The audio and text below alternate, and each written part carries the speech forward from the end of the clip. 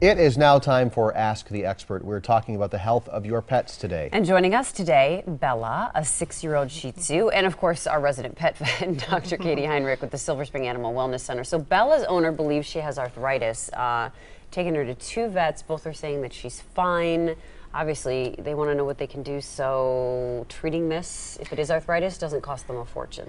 Yeah and uh, it, it, can be hard to tell if your pet has arthritis. Being an animal they are just naturally inclined to hide if they're in pain if they have discomfort because in the wild then that would mean their lunch. So um, at home sometimes you can get a better idea of what's going on with your pet because they're more relaxed and you can observe how they're how they're walking if they're stiff when they first get up if you notice any lameness trouble going up and down stairs stairs or hesitation jumping on and off the couch, in and out of the car, things like that.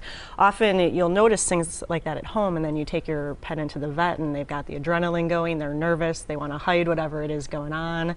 Um, so it, it, can be tough. It can be tough to determine what's going on. But um, usually, if you're thinking your pet has arthritis, you do want to make an appointment, of course, to have a good physical done, possibly take some x rays. Sometimes arthritis will show up on x rays that you that does not show up on the physical exam if, you, if they're kind of hiding it. Mm-hmm. Um, and as far as things to do about it, probably the most inexpensive way to start, if it's mild, is to get them on some supplements. Um, there is a supplement called glucosamine, and it's often mixed with chondroitin, and that is the building blocks of cartilage. And uh, uh, the theory is if you give that over a period of weeks to months, you start building the cartilage back up in their joints, which, which reduces the bone on bone friction, which causes the discomfort. So that's probably the first thing to try. Are there canine pain relievers? Oh, there absolutely are, yeah. There's many types of nonsteroidal anti inflammatories and other type of pain medication. Sure. Um, so if the supplements you know, aren't doing the trick, or if you need something stronger right away, you can definitely ask your vet about that. Because we have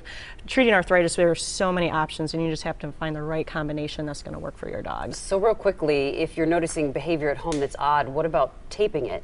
Then bringing it in and showing the doctor. That's a fantastic idea. Yep, hmm. and people have video on their phone, and, and right, it gets a lot more convenient. Yeah. Okay. And how's Bella doing? Bella is doing fantastic. She's starting to relax a little bit. she's a little nervous for her first yeah. camera debut. She's so cute in her ribbons. But she's good. She's quiet. She is. All right. Good girl. And thanks for the advice. You're welcome. If you have a question for our experts, you can email them at asktheexperttoday's.tmj4.com.